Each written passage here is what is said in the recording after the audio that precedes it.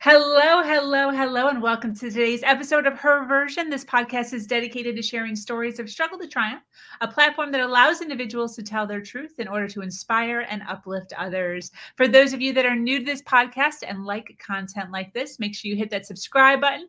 Make sure you follow, like, and share. I am your host, Sabrina Victoria. Let's jump right in.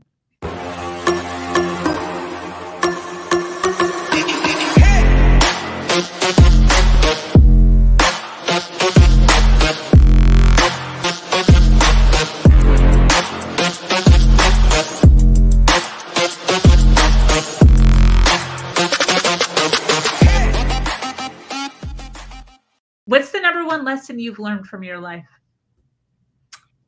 All of it. I am a part of, I am not it. And I say that by very comfortably from the co-pilot seat of the of my of my automobile here that I don't supposed to drive this. I don't supposed to have the projections of where we're going. That's that's not in my pay scale. For me, it's it's being present, right? It's to be the co-pilot, to be, you know, watch everything go down and then kind of sit back and just see like, God, how could I how can I help? What can I do?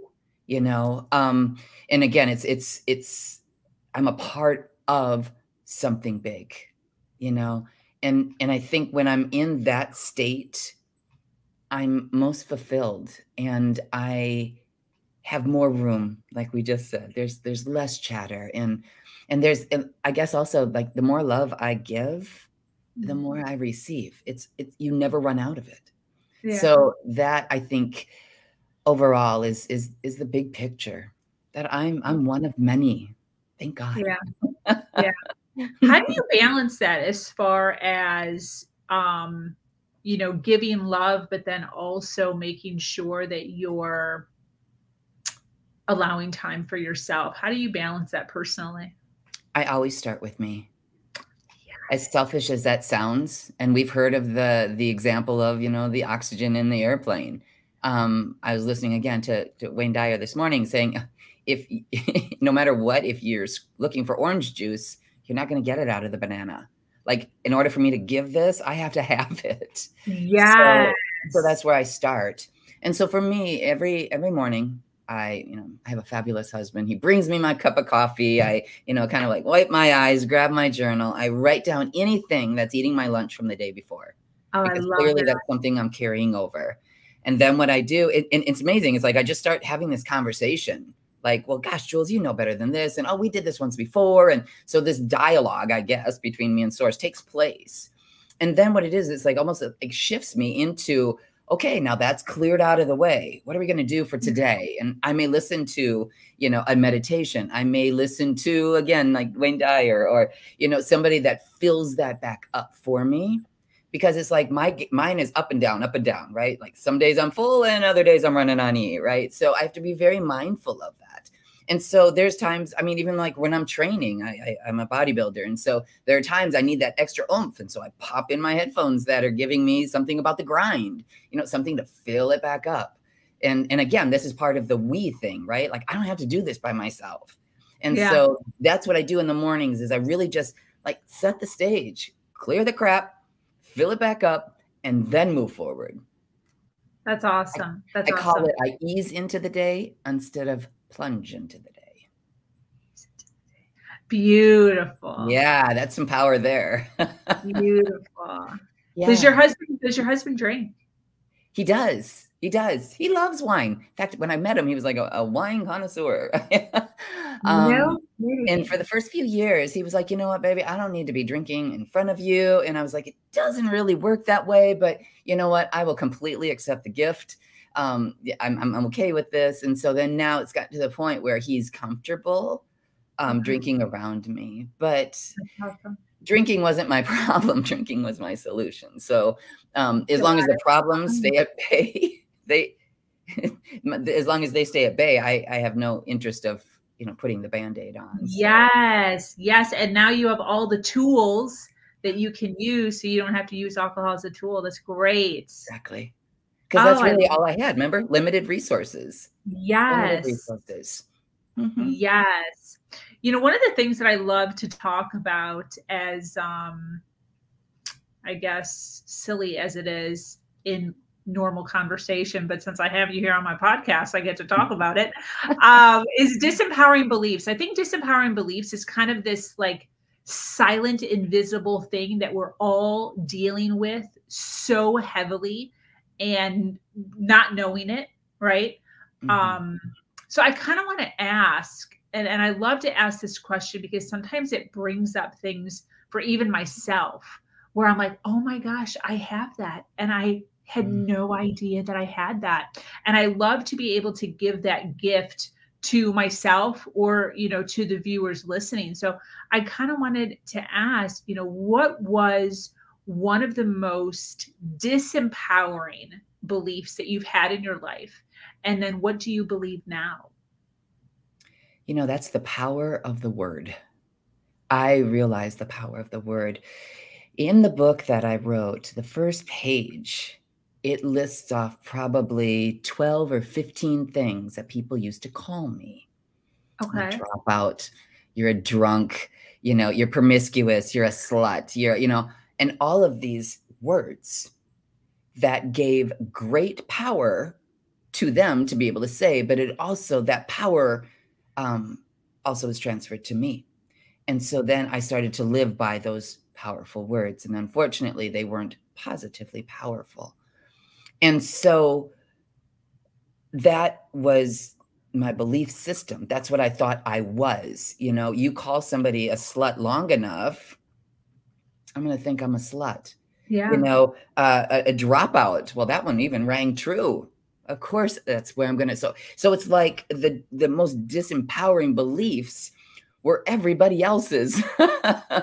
and that's wow. what I that's what I really one cool thing about getting sober is that because of the limited resources I had up to that point, um, I had to really bring it down to a very, very elementary state. So to see the word surrender, for instance. Okay. Was a mortifying word absolutely not. Do you not know where i have come from? Do you you want me to surrender? Like i mean it was like oil and water. I, are you nuts i'm out right? Yeah. but then i would take that word again somebody else's word somebody else's understanding and i broke it down into a different word that resonated with me. The most um, profound example was the word unmanageable I'm thinking, my life's not unmanageable at all. Look at, I am making it, right? And in my mind, I thought I was making it. But now yeah. I'll use words like, what's not working for you?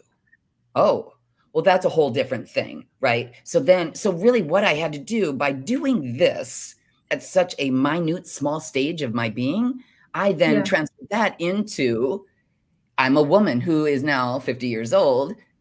Do I supposed to look like that? Is that their belief or my belief? Yeah. And so I got to create over the years of these fabulous um, 14 years of sobriety, of ups and downs and living life. I got to create what's authentic to me by questioning it. You know, wow. like there's just like, it's almost like you just, it's almost like you slide into something like, oh, you're a woman and you should, you know, it's like this, this road that's been paved, but that road wasn't my road. And so I was really struggling with it and so I had to really look at is that their beliefs or or mine? And most of them were not mine because I didn't even have that level of concept at that stage. Yeah. And so that's what I do today. You know, wow. everything from the clothes I wear to the things I choose to do. I mean, I mean, oh, come on, I'm 50 years old and I'm a bodybuilder. Most women do not take that route, right? So these are things that are very authentic to me right? I love to sail. My husband and I are sailors. We we have a boat and, and we're in the Caribbean. And you know, there's just there's things that I just if is it mine or is it yours? And this is my yeah. belief. So questioning them, like really just being like, hmm. And again, bring that into journaling. Yes. There's a great place to go right there with journaling. Yes. When did you get into bodybuilding? I did when I turned 40. no kidding. I did. Girl, I just wanted what to get what inspired you? Are you ready? Again, super small micro. Don't tell me somebody gave you a magazine or something. no, I wanted I wanted to get the cellulite off my thighs. Really? Mm-hmm. That's what started it? That's when it all started. I had a terrible body image issue, right? Because again, this is my vehicle. So this thing has to be perfect and it was never perfect. And yeah. so if you imagine living in Texas and our high temperatures during the summer, I would actually wear Spanx underneath blue jeans because I was that uncomfortable with my thighs. Now keep in mind I'm 120 120 pounds. I'm not I'm not big. I'm not it's complete delusional. Yeah. So what I did is I uh yeah, I, I thought, well, those bodybuilder girls, they don't have any cellulite on there. Oh, I want to know what they have. I want I want that meal plan or you know, I want that supplement or whatever. And so for the first year, I um I locked in and I was on a meal plan and uh, for a full year without cheat meals or missing a day without a gallon of water. I mean, I was desperate for change. And wow. so I did exactly what she told me to do and and I got the results that I was looking for. No kidding. And then your body obviously started drastically change. And then during that, you decided, wow, my body is looking hot. Well, you know, Let people tell you, people are like, oh, you compete. It's like, no, no, I don't. at the stage, I didn't. And then I was like, wait a minute. Is again looking at questioning, is like, is that yeah. even a possibility? And I was like, oh no, no, no, this is fine. I mean, and I have to say, even at this point of my life, to say, like, I went to nationals last year and I placed in the top three at a national level. I mean, this wow. is the woman who just wanted to fix her thighs. And wow. so even today, like to say that I'm a bodybuilder, it, it, it still doesn't fit. But I've been wow. on that stage numerous times, so I don't know when that's going to sink in yet. But but yeah, it, nothing ex- ever expected. So no. what? So any cellulite on the thighs now, or has that disappeared? I do. Can you imagine that? now we just call it off season. are you looking at it with a microscope? well, of course we do. That's yeah. what that mirror's for. It's a microscope. No, actually, what it did, is it has allowed me to Eh, you know have the ebb and flow of of changing my body actually having some control over my body because before i just kept doing the same thing and getting no results so now I've I again i've like fine-tuned it i know exactly what my body and how it responds to various things i've went to somebody who specializes in this heaven forbid yeah. i didn't have all the answers and and so what it is now is like now i've i've seen myself get all the way down you know depleted and you know every vein showing and you know, walking across the stage. And then I've watched how my body will slowly, as I diet out, okay. will, you know, go back to more of a normal state. And then actually appreciate that I need to have meat on my bones in order to build the muscle. Right. So mm-hmm. I've, I've learned different aspects of it. So now when I see it, which I do, I'm just like, I'm in off season. there you go. So yeah, go. totally different wow. understanding wow, that's so cool. I love that you were still pivoting or still are, right? But pivoting at 40. I mean, that is oh, not something that people, the average person does. That's awesome. And again, is that your truth? What a great example. Yeah, I totally have yes. done this all my life and it's really working out. yes. Oh, I yeah. love it. Um, listen, there are um, still people here listening 47 minutes into our interview. So I just want to give a shout out to those of you that are hanging out listening to Jewels and I chit chat. We so appreciate the support and the love. Um, I would love for you, Jewels, to tell us what you do. Obviously, everything you're saying is resonating um, with those that are um, hanging out with us on their lunch break. Oh, it's lunch! It's lunch here in Florida, so that might that might be there's a there's a handful of people just chilling out with us. Um, what um, what do you do? What's your business? You, you've written a book. Tell us what's going on. I have. I think I'm already I'm doing it, right? I don't know if it actually has a title because again, I've kind of piecemealed this together, but you know, I'm a bodybuilder. I'm very strong in my recovery, so I'm a sponsor. Um, I also, again, like this writing of this book has been profound. It's been so amazing. So I don't know if I can put like a typical title out of what I do, except I do me and I do it at 100%. What's the book for? Who's it for? The girl in the back of the room who thinks she's the only one who's going through this. I've been in those shoes more times than I can even imagine. Um, And there's still times, like you said, I'm still pivoting today. Just because I got sober doesn't mean that all of that changes. It's it's been yeah. this process. It's a process. It's yeah. peeling the onion as we hear. And I just remember at that level of desperation and dis- and being di- you know disconnected, you know, not attached to even the people in the same room with me. And now yeah. I'm learning that that's also with men, also with men, more so actually, because men socially is not acceptable for them to share most of their intimate feelings. So they're even mm. more imprisoned than I was. More susceptible, yeah. for sure. Yeah. That makes sense.